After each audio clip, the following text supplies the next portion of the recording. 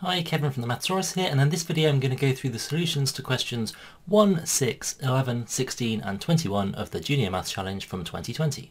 Just before we get started, let me tell you about a course that I've made to help you prepare for the Junior Maths Challenge, links in the description below. This is a totally free course, and in it I'm going to walk you through 20 problems that I've designed specifically for this course. They're challenging problems that will help you prepare for maths challenges and really just help you enjoy maths beyond the sorts of things you're doing at school. For each question, you'll first see the question on the screen, so you can have a go at it and try to work out the answer.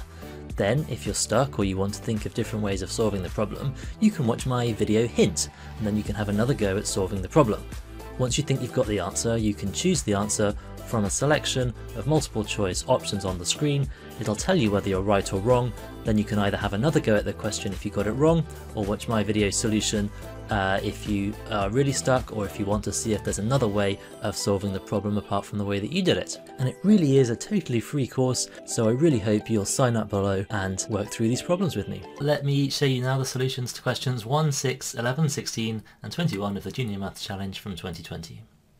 Because all of these numbers are smaller than 11 squared, we only need to check whether they are multiples of 2, 3, 5 or 7 to know if they're prime. If they're not multiples of any of those, they'll definitely be prime. Now, we can see none of them are even, so they're not multiples of 2. Uh, we can also see easily they're not multiples of 5 because they don't end in a 0 or a 5.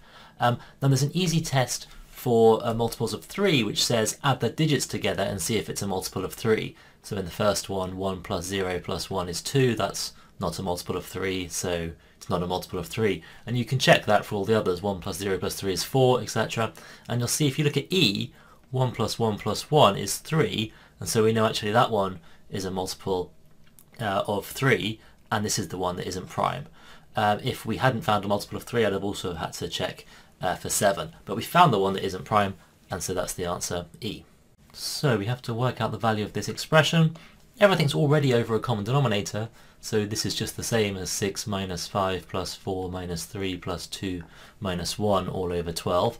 Remember, BIDMAS applies here. Common mistake people make is that they try to do um, you know, they do all the additions before the subtractions in something like this. But addition and subtraction in BIDMAS, really it should be written something like this, B-I-D-M-A-S. A lot of teachers write it like this now because addition and subtraction have the same level of importance. So to work out something like this, I just do 6 minus 5 is 1, plus 4 is 5, minus 3 is 2, plus 2 is 4, minus 1 is 3, and so I get 3 over 12, and uh, that gives me 1 quarter once I've simplified it, and so the answer is C.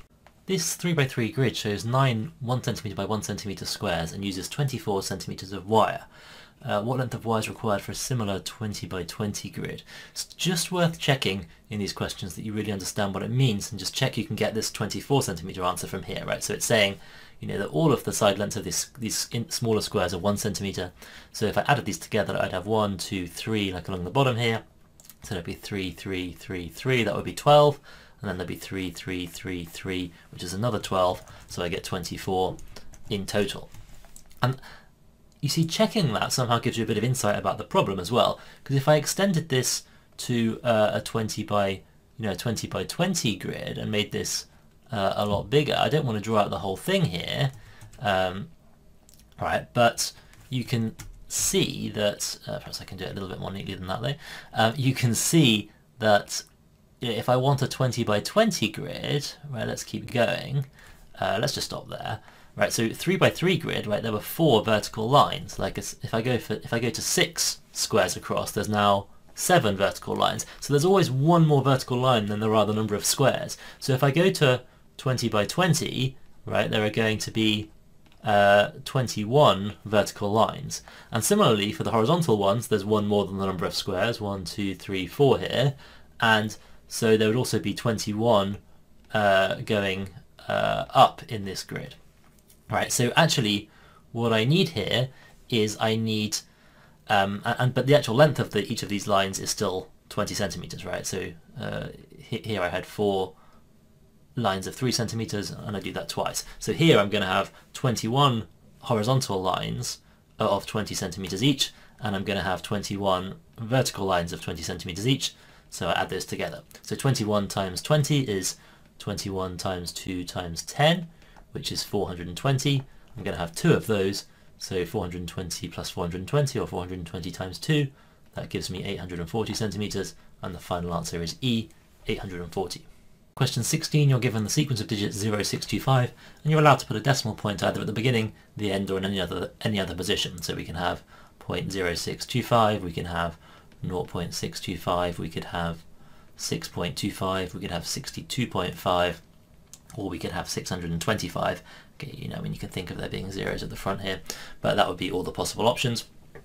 And it says, which of these numbers can you not make? Well, uh, if we go through them one at a time, 6 25ths, that would be 24 over 100, and so uh, that's not any of these. So actually, I can just say that the answer is A. We might want to check all of the others. 5 eighths is 0.625. 1 16th, you can do, you might know that 1 eighth is uh, 0.125 and if you do half of that like half of half of 125 is is, is 60 62 and a half so you would get 0. Um, 0.0625 25 over 4 that's 6 and a quarter so that's 6.25 and 25 squared is 625 so we can make all the others and the answer is A. Question 21 it says the digits of both the two digit numbers in the first calculation have been reversed to give the numbers in the second calculation, but the answer stayed the same. So 62, they've swapped the digits to get 26. 13, they've swapped the digits to get 31. We want to know which of the calculations give the same thing here. So in A, uh, it would be 52 times uh, 63, right?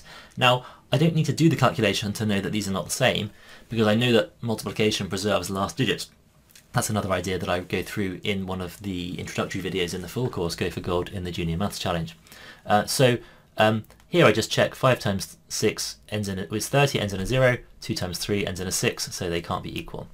Right, 34 times 42, that will turn into 43 times 24, 4 times 2 is 8, 3 times 4 is 12, they don't have the same last digit, so they can't be equal.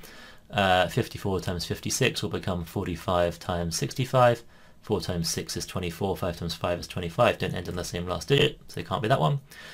42 times 48, um, 24 times 84 uh, is what we're looking at here now. 2 times 8 is 16, 4 times 4 is also 16, so this one's a possibility. Um, the last digit thing is only going to rule things out here, so I've either now got to check that these are actually the same, or I could just look at the last one here, 23 times 34, 2 times 3 is 6, 3 times 4 is 12, don't have the same last digit, so it must be D. And then you can also look at D and say, well, yeah, that is right, because look, 48 is double 24, and 84 is double 42, so those calculations are going to give the same thing. Either way, the answer is D. Hope you enjoyed the video. Don't forget that the best way to prepare would be to click the link below and to sign up for my totally free online course